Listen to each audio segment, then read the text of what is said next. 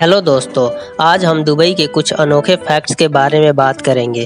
कैसे एक रेगिस्तान में बसा छोटा सा शहर दुनिया के 130 से भी ज़्यादा वर्ल्ड रिकॉर्ड बनाने वाला शहर बन गया। पर सबसे पहले, मेरा हौसला बढ़ाने के लिए और मेरी मदद के लिए प्लीज़ मेरे चैनल को सब्सक्राइब कर दें।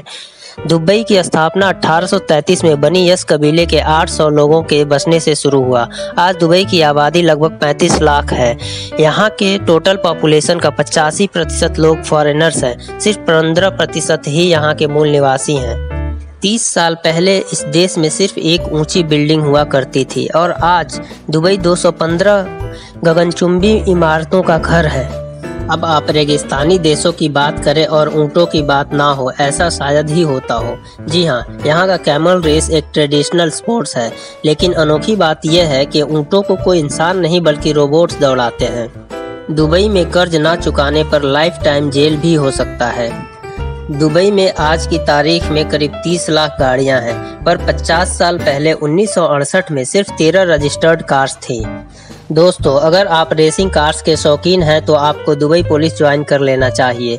दुबई पुलिस के पास Bugatti Mercedes Lamborghini Aston Martin Bentley Ferrari की टॉप मॉडल कार्स हैं। अगर आपको रेगिस्तान में भी स्कीइंग करनी है तो एमिरेट्स मॉल में इंडोर स्कीइंग कर सकते हैं। दुबई के नाम 130 गिनीज वर्ल्ड रिकॉर्ड से भी ज़्यादा है। दुनिया का सबसे बड़ा मैन मेड आइलैंड दुबई का पाम जुमेरा है, जिसको स्पेस से भी देखा जा सकता है। दुनिया का सबसे ऊँचा बिल्डिंग बुर्ज खलीफा का करीब एक तिहाई हिस्सा खाली है। 2009 में दुबई मेट्रो दुनिया का सबसे बड़ा बिना ड्राइवर का रेल नेटवर्क था।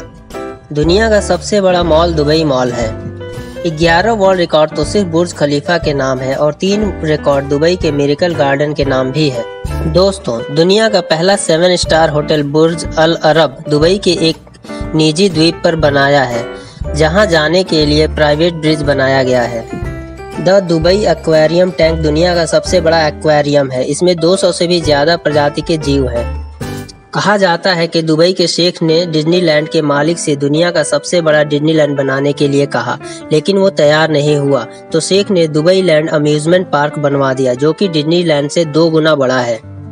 दुबई इंटरनेशनल एयरपोर्ट का टर्मिनल थ्री दुनिया का सबसे लंबा टर्मिनल है।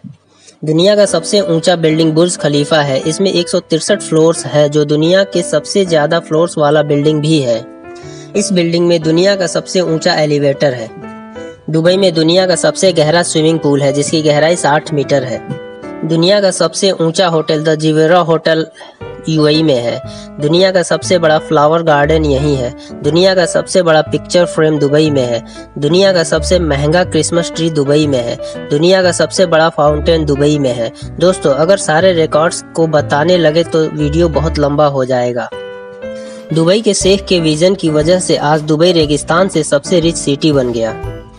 इसका main earning source real estate और टूरिज़्म है। दुबई के शेख का सोच है कि दुबई या तो दुनिया का सबसे बड़ा, अलग या दुनिया का सबसे पहला प्रोजेक्ट का होम होना चाहिए।